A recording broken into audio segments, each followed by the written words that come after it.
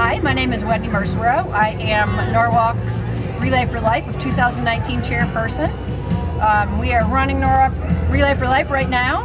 We have great music, great food. You can buy luminary bags in honor of uh, someone who has survived cancer or in memory of someone who has passed away. Um, luminary ceremonies at 9.30. Tonight we have an excellent speaker, Trisha Ebner is going to speak.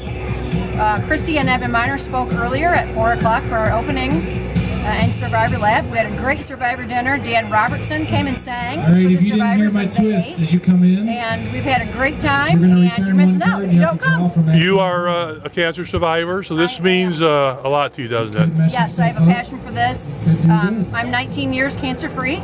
Um, this is my way of still fighting. When you're done with all your treatments, the return doctors say, see you later. You know, we'll see you in a year, and you've been fighting and seeing doctors and going to appointments and all for all these years, and all of a sudden they let you loose, and it's kind of scary.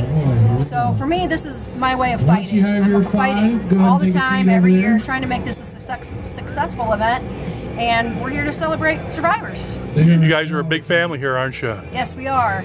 All the survivors. The survivor meal tent was huge. We had a lot of survivors this year, and we're just trying to give them hope. You're a survivor the moment you're diagnosed, and it's a very scary diagnosis to hear, and we just want you to know that there's hope.